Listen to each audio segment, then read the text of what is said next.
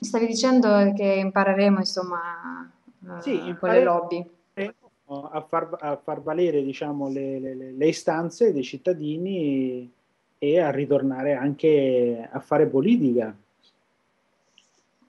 invece solamente diciamo, di, di- di delegare qualcuno al posto nostro a prendere determinate decisioni. Questo è un- una questione di tecnologie che ci abilitano a farlo e di cultura nell'utilizzare queste tecnologie. Ma, d'altro canto, se noi andiamo indietro nella storia delle nostre società, eh, voglio dire, la- le rivoluzioni dell'Ottocento, eh, nascono anche dalla progressiva alfabetizzazione delle popolazioni e dalla diffusione di, eh, dei quotidiani all'epoca, insomma, dei, dei giornali che leggeva la, la popolazione, quindi la possibilità di formarsi un'opinione raffinata di quella, innanzitutto di, la possibilità di potersi formare un'opinione, cosa che magari prima era molto più difficile da fare, e la possibilità di condividere questa opinione, cioè di fare in modo che questa opinione non fosse solamente eh, condivisa all'interno di piccoli cerchi, ma di cerchi sempre più grandi della popolazione. D- Mutatis mutandis, noi oggi abbiamo degli strumenti che ci permettono di fare questa, questa cosa in modo ancora più efficace, ancora più raffinato e ancora più velocemente. Quindi dobbiamo semplicemente imparare a usarlo. No? Cioè, I nostri genitori facevano le rivoluzioni col ciclo stile, con Twitter, problema c'è? Cioè, Saranno rivoluzioni cinquettanti, passeremo dai fiori ai cinguettini. È una bella immagine comunque, sì, in effetti. Senti, eh, per passare rapidamente a un altro argomento di cui volevo parlare con te, volevo chiederti ehm, di, di- descrivermi, diciamo, che cos'è eh, Working Capital Sì, e a che punto è adesso, perché il 17 a Milano ci sarà il Tour dei Mille, se non sbaglio. Sì, allora, Working Capital progetto eh, di Telecom Italia che nasce, diciamo, come progetto di Telecom Italia, anche se poi nel giro di tre anni si è molto allargato e oggi è Working Capital Premio Nazionale dell'Innovazione. Quindi la- la- la- è stata fatta, diciamo, una joint venture con l'Associazione degli Incubatori Universitari eh, per renderlo ancora più significativo e ancora più importante. È un progetto con cui te- io lo definisco un progetto di corporate social responsibility fondamentalmente, cioè è un progetto in cui una grande azienda italiana ehm, sostiene eh, dei giovani eh, che vogliono costruire eh, delle attività imprenditoriali e lo sostiene nella parte iniziale, nella parte proprio diciamo, in cui nasce l'idea e si cerca di capire se questa idea è fattibile. Quindi cosa che è stata fatta eh, con Working Capital nei- negli ultimi tre anni è stato quello di fare molto scouting all'interno delle università, ma non solo, nel senso che non era limitato solamente all'università, è sempre stato molto aperto, anzi la- le presenze che noi abbiamo stabilito su internet, nei vari gruppi, eccetera, in realtà hanno fatto arrivare molte candidature e molte idee direttamente da internet, senza che fossero filtrate comunque eh, in contesti universitari. A queste iniziative sono stati dati dei soldi eh, a fondo perduto, oppure altri, nel senso che eh, hanno avuto la possibilità di interloquire con, Telecom, con diciamo, i ricercatori di Telecom Italia Lab, hanno parlato con lo strategy di Telecom, quindi con chi si occupa di fare ricerca e strategie all'interno dell'azienda, sono stati supportati con servizi di cloud da Topics, che è il, uno dei punti, uno dei consorzi attraverso cui internet in Italia e di cui Telecom fa parte e via di seguito. Quindi sono entrati in un piccolo ecosistema in cui hanno potuto mettere la loro idea alla prova, raffinarla, costruirla, hanno delle risorse per farla e via di seguito. Allora, questo qui è positivo, nel senso che eh, di altre iniziative come questa ce ne sono in Italia, c'è Unicredit, c'è Banca Intesa, c'è la Fondazione Marzotto e via di seguito. Eh, um, Telecom è sicuramente quella più significativa in termini anche di volume eh, investiti. Stanno il totale diciamo, delle risorse investite supera i 2 milioni e mezzo di euro per un progetto di comunicazione, diciamo, per un progetto eh, pro, promosso da un soggetto privato, insomma, è un investimento molto, molto significativo se pensiamo che generalmente gli altri si attestano sulle centinaia di migliaia di euro al massimo. Uh, il problema dell'Italia è che uh, noi in questo modo, diciamo, con queste iniziative copriamo il primo miglio, ma neanche il primo miglio, copriamo i primi 100 metri del primo miglio. Poi a noi manca tutta la parte successiva, cioè lo, se, pers- se, uno di questi ricercatori ha fatto una, un buon progetto, eh, ha dimostrato l'idea, l'ha portata avanti, eccetera, gli manca eh, il passaggio successivo è quello di entrare in un acceleratore, di avere dei business angel, insomma, di avere un supporto del business che lo aiuti a costruire il business. Ora, questo in Italia sostanzialmente è molto deficitario perché ci sono due strutture di accelerazione che sono Enlabs a Roma e H-Farm a Treviso.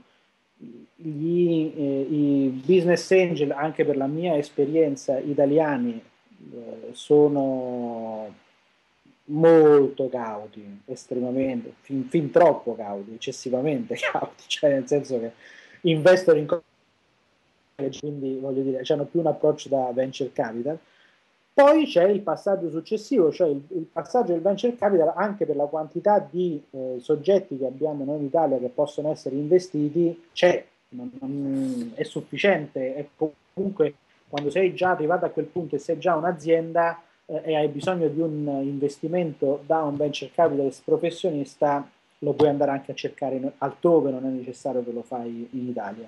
Manca invece in Italia quell'ecosistema che prende come dire, persone che si sono cimentate, hanno, gioca- hanno fatto delle cose, sono entrate nell'idea di voler fare un'impresa, eh, uscita dall'università, negli spin-off, nelle cose, e li porta poi verso un processo di crescita, verso appunto la maturazione in un'azienda, in un'azienda vera e propria. Ovviamente questo non può essere il compito di, una, di un soggetto privato, cioè non può essere il compito di una sola azienda anche se solo le aziende si federassero tra di loro e dire, mettessero a sistema delle risorse per, per, per, per coprire diciamo, questo, questo miglio, incaricando dei professionisti di fare questione, sarebbe una cosa eccellente. Ma la vedo un po' difficile perché ovviamente poi ci sono problemi di è più grosso il marchio mio, è più grosso il marchio tuo, come facciamo? cioè, è, è, fondamentale importanza, mi rendo conto, però insomma, sono, come dire, rischiano di, come dire, queste visioni magari un pochettino, un po' più di breve periodo, rischiano poi di eh, non far fare le cose sul lungo periodo. Uh, quindi che cosa succederà eh, il 17 a Milano? Il 17 c'è una delle tappe di, di Working Capital, quindi noi premiamo Uh, quattro progetti uh, del settore, nei, quest'anno Working Capital ha, copre quattro settori proprio per, mentre negli anni precedenti era solamente internet, social innovation, quindi robe legate al web e che avessero a che fare diciamo, in modo abbastanza da vicino con le telecomunicazioni. Quest'anno con il Premio Nazionale Innovazione abbiamo sostanzialmente coperto cioè abbiamo lasciato fuori, credo, gli studi sul bizantinismo, eh, robe così, no, a scherzi. Eh, e quindi abbiamo eh, information technology, abbiamo social innovation, eh, abbiamo le biotecnologie, abbiamo nanotecnologie e l'energia e tutto ciò che è il mondo green, diciamo, quindi eh, riciclaggio e via di seguito. A, a, Milano facciamo, a, a, Trieste abbiamo fatto, abbiamo dato eh, borse, quattro borse di studio, due per eh, il bio eh, e nanotechnology e due per il green. A Milano ne diamo due per la social innovation e due per internet. Lo facciamo alla Bocconi nel pomeriggio. Um, ci sono tutti gli eventi che noi abbiamo fatto. Um, dei panel, delle testimonianze e ci sono i ragazzi che competono e si, e si, e si come dire, si ingarellano, come si dice a Roma, sono in gara a prendere questi 30.000 euro a testa.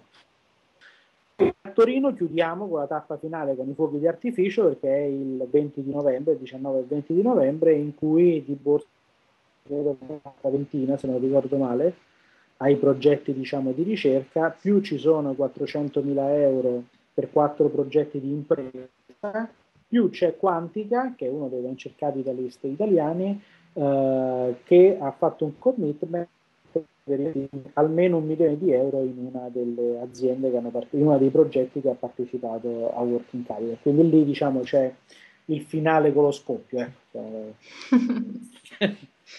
Senti, giusto per tornare un attimo al discorso che facevi prima, ehm, quello che ti vorrei chiedere è per chi in questo momento volesse aprire effettivamente una startup, quali sono le, le possibilità anche di trovare finanziamenti?